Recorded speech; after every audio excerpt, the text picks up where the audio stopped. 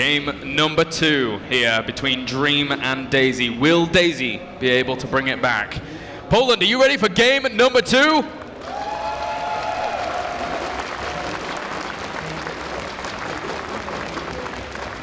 I think so. I think so.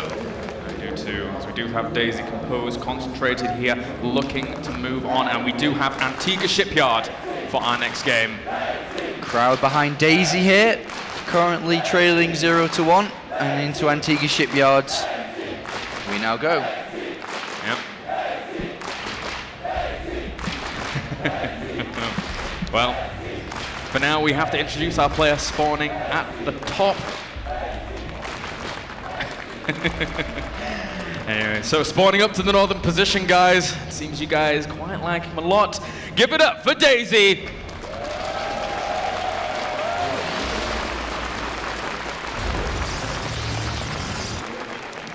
And another player that deserves your cheers, Poland. Give it up for Dream.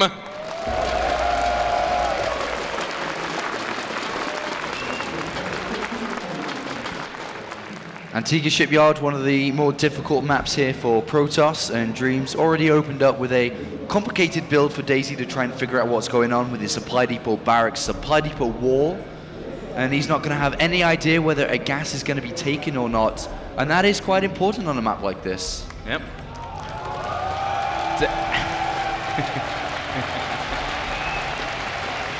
Well, do you read Polish? It appears Daisy has learned some Polish. I think it's I love Poland, something like that. Something like that. well, the crowd appreciated it, so They certainly did. Daisy making some fans. You can hear them, guys. I can't hear myself think. Right, a very loud audience here today supporting Daisy. Looks like they've chosen him. And he's going to need all the support he can get to be able to bring down Dream, the 16-year-old from Team MVP in Korea. He's a Code A level player. He hasn't really hit Code S before. He did play in the up and downs most recently, but unfortunately did go one win to four losses in a very, very difficult group. But in a foreign tournament, in a tournament that doesn't consist of very many high-level Code S players, he's smashing it here. Yeah, doing really, really well for himself. He now, well, we have the SCV barely escaping there from Daisy. And Daisy, meanwhile, actually moving is, is that the, just the scouting probe? Because if so, then he doesn't, oh, no, no, no, no. Okay, so he is going to maybe a proxy position once again here against the, against Dream. Or it might just be indeed that initial pylon uh, to eventually warp in, but that looks more like buildings are going to be hidden. Looks like it. He's got double gases back here. We're going to see a Twilight Council come down. Are we going to see the Robo? Uh, in this position here, I think it's going to be Twilight, but we'll see. In a couple of moments' time, once that pylon finishes up, he's about to have the resources necessary. I'll go with, Ooh, Stargate here. he really likes this play. He does like his Stargates, doesn't he? Not so common as of recent. Zealot, ooh, doesn't lose any hit points there, does lose its shields, but of course will regenerate. And behind this, Dream's got a very normal opening, but there is an SCV that's escaped. He's on the way to scout out what's going on in his opponent's base. I think he may end up seeing, you know, the lack of an. Oh no, wait, the expansion might go down in just a little bit here for Daisy. Dream will poke up, and no, actually, he's just going to commit to even more gateways at that proxy location. This is going to confuse him because he doesn't see the natural. Dream, that's oh. such a big scout for Dream there. And now all of a sudden he's like, all right, it's six minutes in the game. You do not have an expansion. The more, the most common build on this map um, is usually going to be a Blink Stalker play here. Yes. which is why that's what I thought was going to come out. But a scan goes down, sees double gas, doesn't see anything, and that's going to be a little bit confusing there. He may now think that it's not going to be a Blink Stalker play, but with that ah. bunker placement, that bunker placement is there to deal with an observer, to deal with stalkers coming in. A third bunker going down as well, willing to sacrifice the natural. I don't think this play from Daisy is going to get too many successful results here, unfortunately. Dream preparing himself fantastically considering his scouting as for now he will poke up. Head on. There is a probe there. He- Will he be able to find it? Yes, he does as well as the pylon. He guarantees the fact that his opponent is going for aggression. He already did before, to be honest with you. Uh, but for now, Dream really, really ramping up that defensive capability as we still have Void Rays on the way. This, this gateway force that he goes in with as well needs to tank so much damage for those Void Rays to do the damage. Ah, this is going to be a difficult bust here for Daisy with all these bunkers down. Stim, 50% now. Factory almost complete, which means the starport's going to be on its way shortly.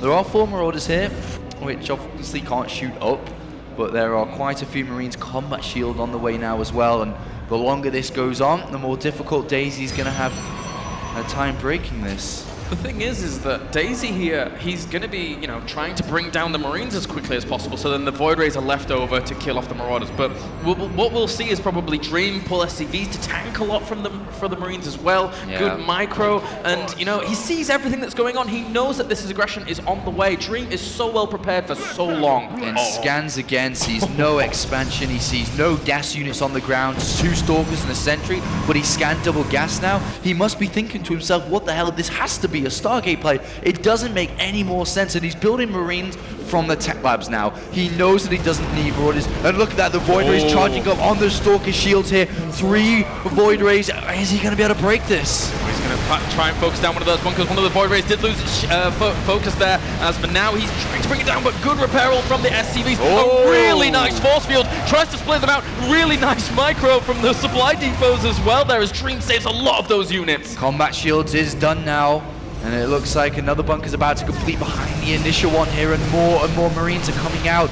The Void Ray control has to be spectacular if he wants to be able to beat Dream. Yeah, he's trying to bring him back to the side. This, uh, rem- this reminds me of a very old style Protoss play, charging up on buildings at the very front of a Terran's base when they wall off. And for now, he's actually breaking down the gas as well, trying to get them charged up. But there's so many units out for He has 14 Marines to complement those six Marauders. And can Daisy get enough damage done here? Daisy's doing a good job here. We need to see a Viking come out as soon as that medivac is done. You can't actually deal uh, with this with just Marines. You need to get Vikings. And he's supply blocked right now, so anything that he can try and Oh. produce is going to be deterred. He's building some supply depots in the back of his base, trying to keep them away from the Void Rays for as long as possible. Now pylon going down as well, meaning that we can see Daisy now warp in. He's made such a good meal out of what has actually happened here. And here comes the Viking, but that's a really late Viking. And it looks like Daisy's going to push up here. Oh, there's so much DPS. Those bunkers holding strong for just a little bit longer. They are full on health here, but those Viking, uh, Void Rays still doing so much damage. Right now, we still have only six Marines and two Marauders left.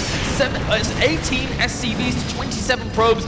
Daisy somehow, some way, after being scouted out completely, is still doing so much damage. Oh, and those SCVs are just going down so fast. Now the Viking's out, and he's going to start to Oh. do damage from a distance here, and he's going to have to stay around the, the bunkers, but there's no money left. He's not mining here. Try and focus down this Viking. Ooh, trying to poke forward. Those Stalkers are going to help him out quite a lot as well. The Zealots managed to end up going down, but the command center falls. Daisy with a really, really nice pickup. There's not that many workers left. He's going to go for the final push here. All the SCVs trying to get into the fray as well, just dancing around in the back. There's only six Marines, two Marauders left over. They're trying to take down the Void Rays. They do take down one. There's only one left. They're focusing down a few more units, and he will be able to push it back just for now, but Dream taking so much damage. There is only three Marines and a single Marauder left. The Viking has to land to fight on the ground, and it looks like Dream is putting up the hole, but there's more units going to keep on coming through. One Medivac is going to keep on healing. He's picking up the Marauder. Oh my god, great micro from Dream. Look at that Marauder. It's in red, and he's doing it with so minimal amounts of units. This is great play from Dream. really utilizing those bunkers in the back as well there to get away from the Zealots. But there's now three workers to 28. Anything Dream can try and transition on from here, Daisy is probably going to be able to crush it. He has to salvage the bunkers. He doesn't have any money to do anything Oh, else. the Marauder gets slashed up there, and there's just nothing left. A single Marine, a single Medivac, and these units that Daisy has left is going to be enough to bring this series equal. Daisy with a strong game. GG! Poland, we are tied up one to one as Daisy brings it back. Really nice micro from Dream there, but at the end of the day, he still was only at three SCVs by the time that the Void Rays fell. Daisy scrapes a win there against Dream. Very, very interesting to see that. How, again, especially considering how well Daisy, uh, Dream even scouted everything out. He knew the natural wasn't down for so long. He knew some aggression had to be coming, but that's how hard it can be to deal with. And again, it reminds me of very old PVT. You, you saw that quite a bit, um, just charging up on buildings on the extremities of someone's base. And that's very old school. I mean, whenever, yeah. whenever anybody used to wall with two supply depots, mm -hmm. the one of the older responses from Protoss was to get a Void Ray. Yep. Because you can't, the, the supply depots are going to go down. And the late Viking in the game really hurt Dream. But as you said, supply blocked, he really couldn't do anything about it. I used to I used to use that build a lot. It was so much fun when I was back playing Protoss. But guys, we're going to send it to the analysis desk desk with Jarrett, QXC, and Todd. Daisy, proximal Stargate again. This time it is successful. He only built one. How safe is that opening? Um, a lot of that opening really relies on your opponent not scouting it. And Dream did a really good job of scouting the obvious places. He checked the base to the left of his main. He scouted around the map. He scouts his third.